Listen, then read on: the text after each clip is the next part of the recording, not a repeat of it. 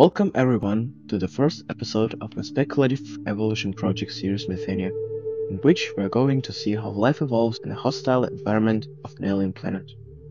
In this episode, we will focus on origins. So, let's start.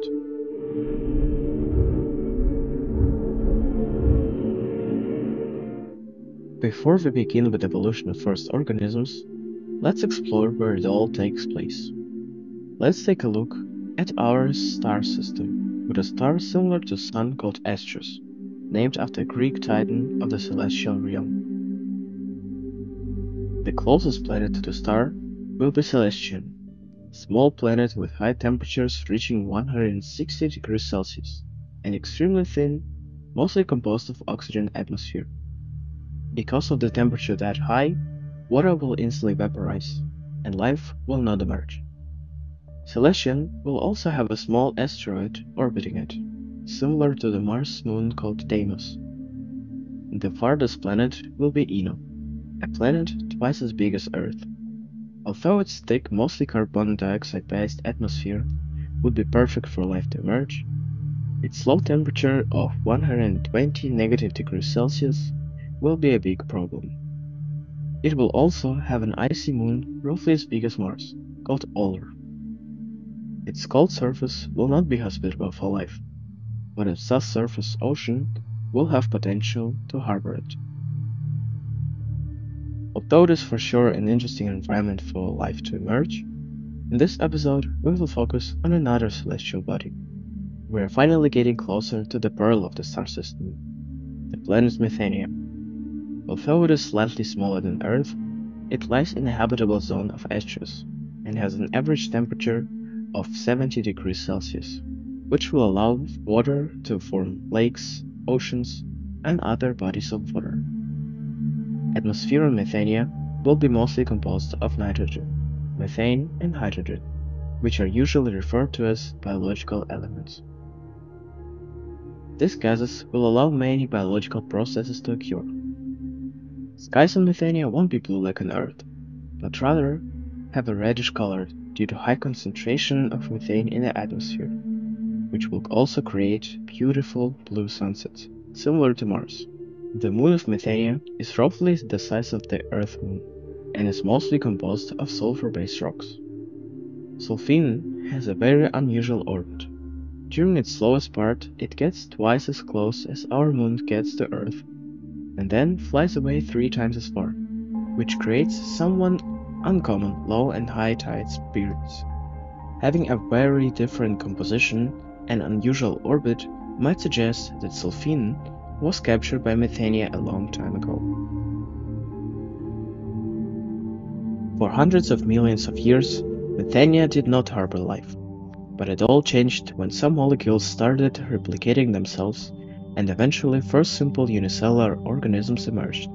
As you can see, the atmosphere of Methania is not quite similar to that of Earth. It has almost no oxygen and almost no carbon dioxide, which complicates the occurrence of aerobic respiration and photosynthesis within this environment. On the other hand, its methane and hydrogen-rich atmosphere will allow for different pathways to occur. Let's start with the simplest way to digest glucose known on Earth, anaerobic fermentation. It allows cells to transform glucose into ethanol and CO2. Some acetic acid bacteria can convert ethanol into vinegar by oxidizing it, and other bacteria might break down the vinegar into CO2 and methane. The problem is that oxidizing ethanol requires oxygen, which is extremely rare on Methania. Instead of that, some organisms might evolve to split the CO2 they get from anaerobic fermentation into oxygen and methane by letting it react with hydrogen that can be found in the atmosphere through a process similar to methanogenesis. And then, using oxygen, they can oxidize ethanol. In a similar way, instead of producing CO2 and methane during breakdown of vinegar, they could let it react with hydrogen and produce methane and water. All these processes will be combined in one, called hydrogenic fermentation. Now that we have a way of digesting glucose, we need to find a way to produce it. The main source of glucose on Earth is photosynthesis.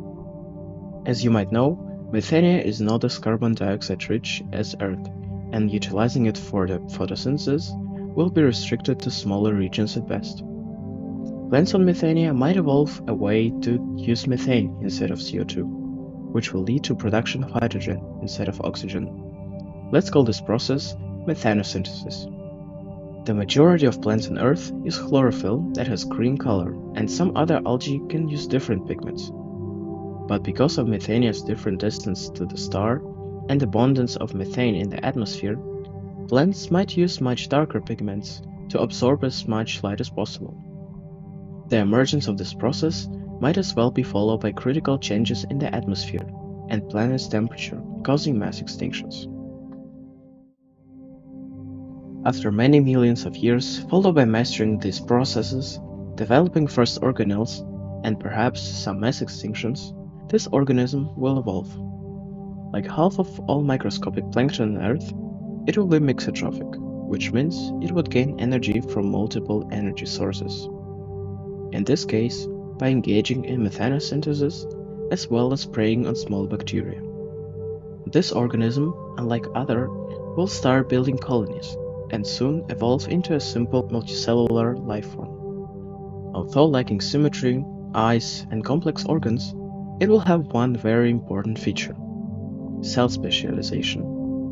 It would allow them to engage in labor division and increase their efficiency, allowing them to grow larger and build complex structures.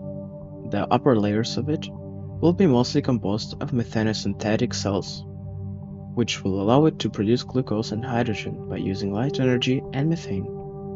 The bottom layers, on the other hand, will be mostly composed of glucose digesting cells, some primitive muscles, and structures similar to phloem that can be found in plants. Its lifestyle will stay very primitive, as this organism won't need to search for their food because it will feed on bacterial mats by growing root-like structures. Of course, as all species, it will need to find a way to reproduce.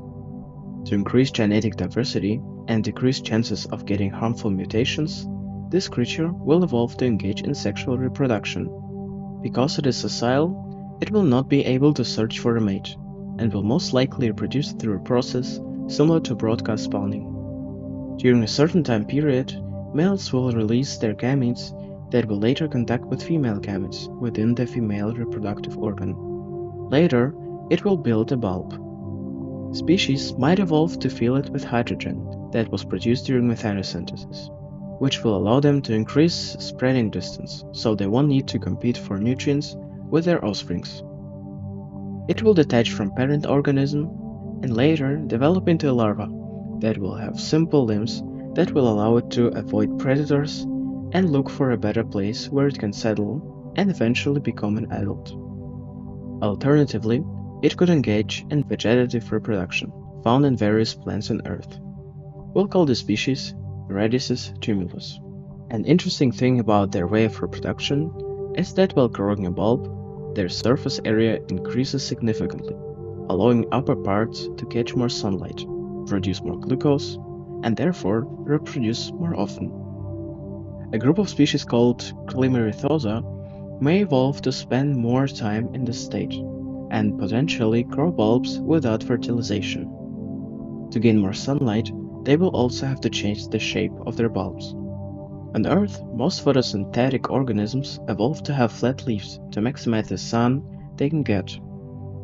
Same might happen to Glimirithosa. They might also keep filling their leaves with hydrogen to provide structural support. At first, this attribute will only be spread among female species, but later, males might also get this attribute to some extent. Along with a more passive lifestyle, they may evolve an anchoring structures that will let them fixate themselves on substrate and absorb nutrients more efficiently. Its larva will change as well. Not only being bigger than larvae of Radissus tumulus, they will also have a long tail that they will use to burrow in the ground and start their adult life. While this group will evolve to spend the majority of its life in a sessile form and gain energy from the sunlight, another group might evolve a more mobile lifestyle. Through a process known as neoteny, species of Myrmidons may keep their larval traits, which will allow them to stay mobile throughout their adulthood. To achieve even better mobility, they might evolve more bilateral symmetrical bodies and stronger limbs. Mervithox will be a very diverse group, mainly focusing on niches of zooplankton and detritivores. And with their shift in the mobility, they will also evolve to have different way of reproduction. As their ancestors, they could keep their offsprings attached to their body while they're growing, but instead of them having a sessile stage, they can stay mobile throughout their entire life. Some of them might start feeding on sources that require a more complex digestive system. To gain more energy from their food, they may fold their body in the middle, creating a gut with an entry and an exit. This will be followed by more distinguished separation between the front and back part of the body. The sensory organs will concentrate on the front part, so the creature could better sense what it has in front of them and search for a direction to move. With a more complex lifestyle and more energy efficient strategy, it will eventually concentrate a group of photoreceptors into a simple eye structures and evolve a group of neurons to process the information and pass it on the other organs, creating a simple brain. A group called pentacrabs will be one of the first complex organisms to evolve it. They will be slow bottom-dwelling herbivores and detritivores. Pentacrabs will have a relatively simple brain and five primitive lens eyes.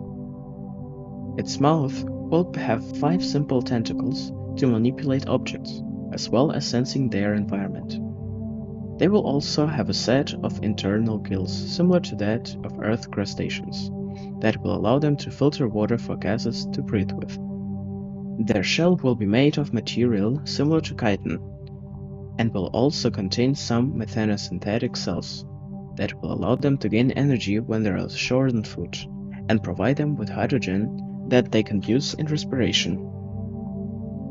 Another group of Mervithox, additionally to gut, might evolve two canals that go through their body and specialize them as gills that will constantly filter the water for gases while they are moving through the waters of Methania, as well as a way of jet propulsion moving that can be found in frogfish and salps on Earth.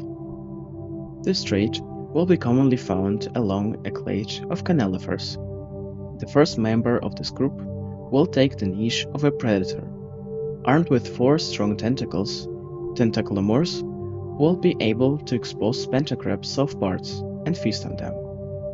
To locate its prey, they will use their four compound eyes, mainly focused on motion detection, but also having some muscles that can help them focus on specific areas to some extent.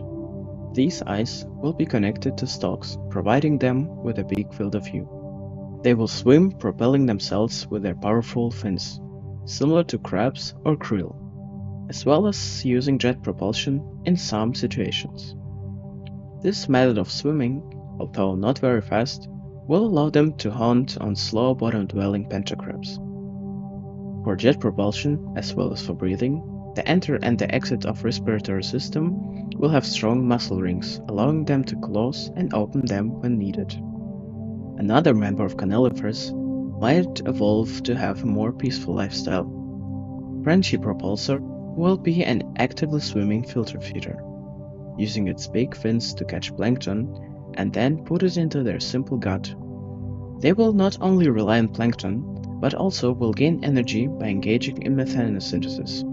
Since their limbs will be used as a way to filter water for food and gases, they will adapt to use their gills as the main way of propelling themselves, potentially concentrating more blood vessels in their fins to improve respiration.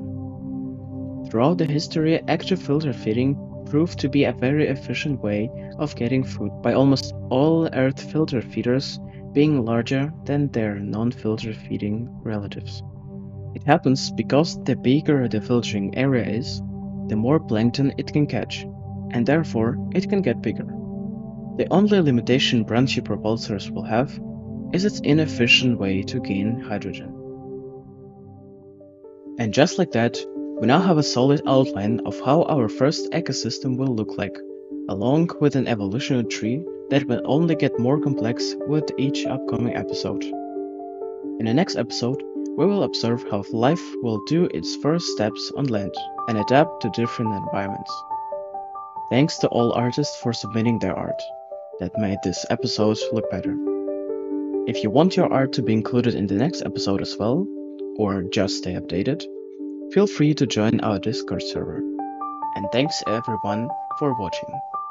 If you want to see more, please like this video and subscribe. Until next time, and remember, never stop exploring.